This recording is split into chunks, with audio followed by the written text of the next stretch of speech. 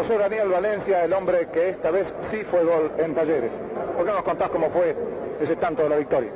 Bueno, eh, fue un fútbol que agarré de la derecha casi sobre el semicírculo central y lo agarré mal parado a todo. Y pienso que mm, el disparo mío ni lo esperó ni el público ni el mismo filial. Inclusive yo que me quedé sorprendido porque cuando vi la pelota de la red salté y me abracé con mi compañero. Sí, el, el, gol incluso tomó por sorpresa a toda la cancha y recién se lo gritó cuando estaba dentro de la red, puesto que primero pegó en el travesaño.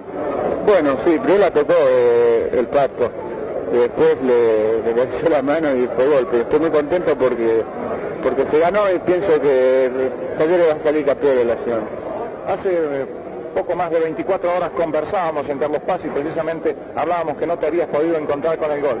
Hoy habías tenido dos oportunidades netas, claras, de concretar y no se habían dado y finalmente llegó. Bueno, eh, ya en varios partidos, así que mm, estoy llegando más al arco, inclusive con un poquito más de fuerza. Eh, gracias a Dios que las cosas se me dieron hoy y ojalá se me sigan dando. Además, Talleres queda ahora en muy buena posición ante la derrota de Racing. Sí, eso es lo que me alegró muchísimo. Aparte, cada vez estoy convencido de que Talleres tiene mejor plantel del país. Muy bien, gracias Valencia y felicitaciones. No, al contrario, gracias a ustedes por esta oportunidad.